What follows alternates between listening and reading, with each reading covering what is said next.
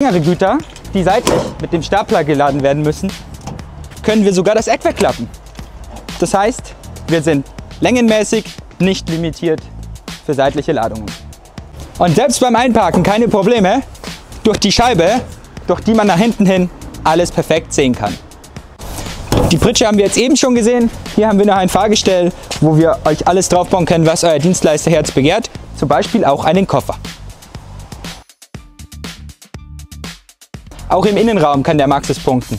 Wir haben Apple CarPlay und Android Auto serienmäßig, Klimaautomatik, das wunderschöne Leder Multifunktionslenkrad sowie Sitzheizung. Alles Standard.